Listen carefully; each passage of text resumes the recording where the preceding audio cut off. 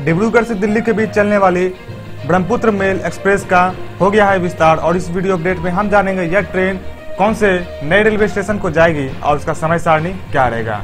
Video शुरू करने से पहले अगर आपने अभी तक हमारे चैनल को सब्सक्राइब नहीं किया तो सब्सक्राइब अवश्य कर दें, जिससे भारतीय रेलवे का सारा न्यूज़ अपडेट मिलता रहे। तो चलिए शुरू करते हैं। ट्रेन संख्या पंद्रह हज़ार नौ सौ पचपन और पंद्रह हज़ार नौ सौ छप्पन, ब्रह्मपुत्र मेल एक्सप्रेस, जो कि क्यूल पटना के रास्ते डिब्रूगढ़ से ओल्ड दिल्ली को जाती है और रेलवे ने अब इस ट्रेन का विस्तार करने पर विचार कर रही है। यह ट्रेन अब ब्रह्मपुत्र मेल का भागलपुर से दिल्ली के लिए खुलने का समय सुबह सात बजकर अड़तीस मिनट पर होगा और दिल्ली यह ट्रेन अगले दिन सुबह छह बजकर पाँच मिनट पर पहुंचेगी। फिर वहाँ से जोधपुर के लिए यह ट्रेन रवाना होगी, जो कि यह जोधपुर छह बजकर पच्चीस मिनट पर पहुंचेगी।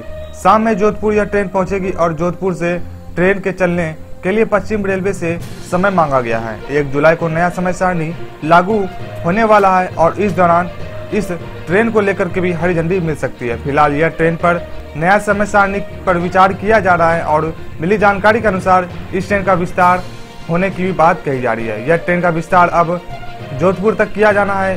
इसके साथ ही भागलपुर को एक सीधी नई ट्रेन मिल जाएगी जोधपुर के लिए और ब्रह्मपुत्र मेल का विस्तार डिब्रूगढ़ से खुलने के बाद ओल्ड दिल्ली होते हुए जोधपुर तक किया जाएगा और इसकी समय सारणी भी आपको हमने बता दिया। आने वाले नेक्स्ट वीडियो अपडेट में आपको इस ट्रेन के ठहराव के बारे में भी बात करेंगे और हम जानेंगे कि यह ट्रेन का समय सारणी जोधपुर से कितना बजे होगा और यह जोधपुर कौन कौन से दिन के लिए यह ट्रेन आपको देखने को मिलेगी। इस वीडियो को शेयर करें कमेंट करें और सब्सक्राइब करना ना भूले चैनल को।